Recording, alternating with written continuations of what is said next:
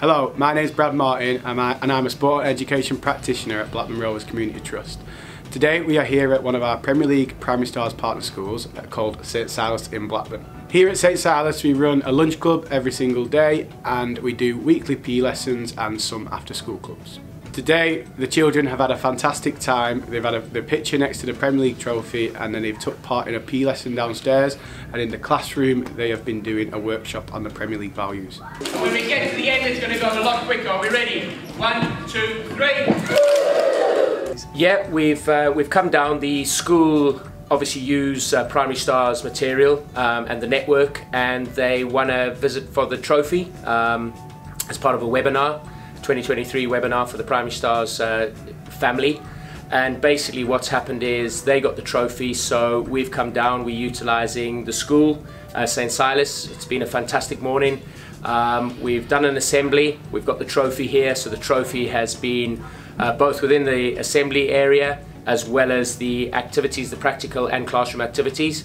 Um, and the school has been fantastic. It's, uh, we've, we've utilised the uh, Blackburn Blackburn Rovers um, and their community trust to support the day. So we are in charge of the trophy, but uh, Blackburn utilise all their networks of the schools. So as part of the visit, we utilise the Premier League's values, uh, be ambitious, be inspiring, be connected and be fair. We try and link it to the school's uh, values. So what we'll do is this morning we have uh, talked about it in the assembly.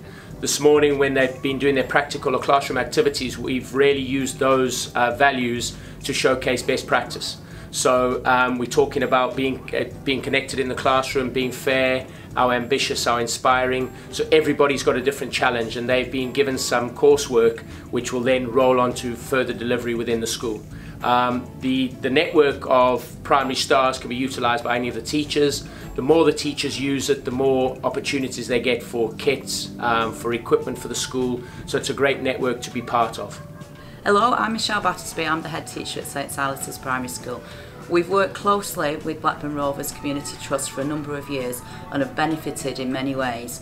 Our staff have had some fabulous CPD on PE through Blackburn Rovers coaching and our PE teaching has improved um, and we're now doing quite well in competitions. We have a Blackburn Rovers coach at lunchtime on our AstroTurf which has improved the fitness of our children and contributed to their improved well-being. We also have a variety of afternoon after school clubs provided by Blackburn Rovers which has increased um, participation in our clubs and as um, a result of working closely with Blackburn Rovers we've been able to have the Premier League trophy visit school today which the children have thoroughly enjoyed and are very excited about although one of them did ask if they could bring the World Cup next time. We offer a wide range of primary education provision across Blackburn with Darwen if you want more information, please contact jennifer.calvert at brfctrust.co.uk.